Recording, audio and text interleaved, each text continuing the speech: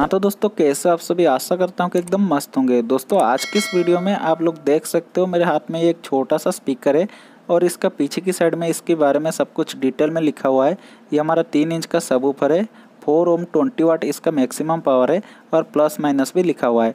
तो दोस्तों, मेरा कहने का मतलब ये है कि अगर आपके पास कोई भी फोर इंच थ्री इंच या फिर किसी भी प्रकार की स्पीकर या फिर सब ऊपर हो और ऊपर हो, आप उसका साउंड बढ़ाना चाहते हो और बास बढ़ाना चाहते हो तो बिल्कुल आसानी से बढ़ा सकते हो। इसके लिए आपको एक इस प्रकार की किट चाहिए, जो कि आपको ख़राब एलईडी बल्ब के अंदर से मिल जाएगा। अगर आपके घर में ख़राब एलईडी बल्ब है तो आप उसके अंदर से ये किट को निकाल सकते हो। और ये जो किट आप लोग यहाँ पर देख रहे हो, इसमें से हमें दो कंपोनेंट को निकालना पड़ेगा, और वही दो कंपोनेंट से हमारा ये स्पीकर का बास जो है और साउंड है, वो बढ़ जाएगा।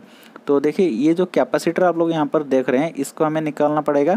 हो सकता है आपकी जो किट होगा, उसमें और भी बहुत सारे कैपेसिटर मिल जाएगा, लेकिन जो सबसे बड़ा वाला कैपेसिटर होगा, उसको ही निकालना और उसी में ही हमारा काम चलेगा।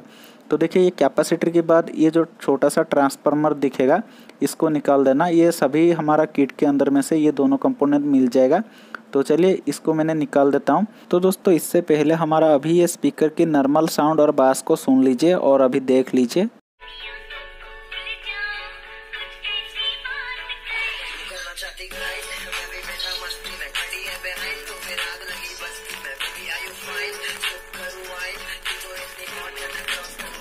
तो दोस्तों, इसके बाद मैंने ये कैपेसिटर और ट्रांसफार्मर को इस किट से सोल्डरिंग आयरन के माध्यम से हटा लिया हूँ। आप लोग देख सकते हो।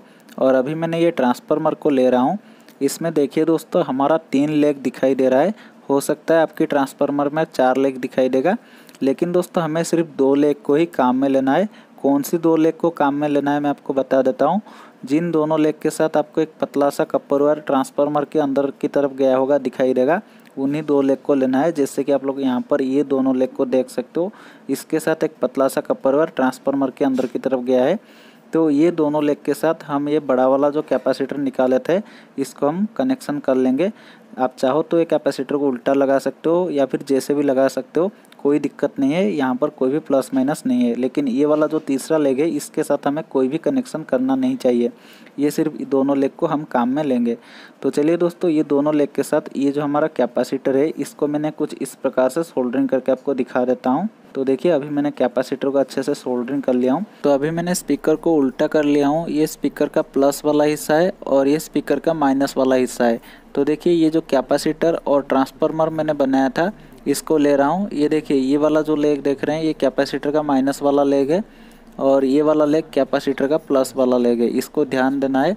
तो ये जो कैपेसिटर की प्लस वाला लेग है, इसको हम ये स्पीकर की जो माइनस वाला हिस्सा है, उसके साथ सोल्डरिंग करेंगे। तो देखिए, कुछ इस प्रकार से सोल्डरिंग करना है। फिर से बता रहा हूँ कैपेसिटर की जो प्लस वाला लेग है, उसको ये स्पीकर की माइनस वाली लेग के साथ सोल्डरिंग करना है।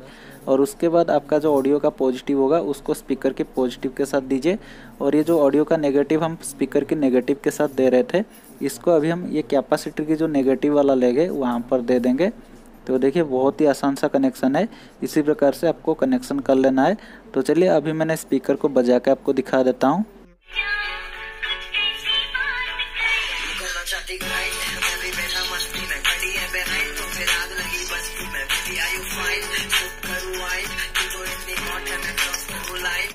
Fearless. Thank you.